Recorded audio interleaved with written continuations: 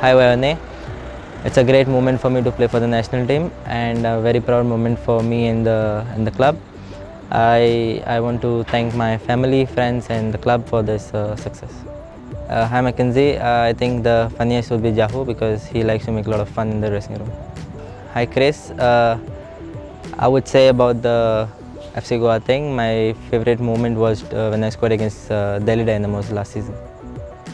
Uh, hi. Uh, I was uh, I wasn't uh, you know nervous or anything. I was very happy that coach put the trust on me to play that position, and I just wanted to give my best, and that's what I did in the match.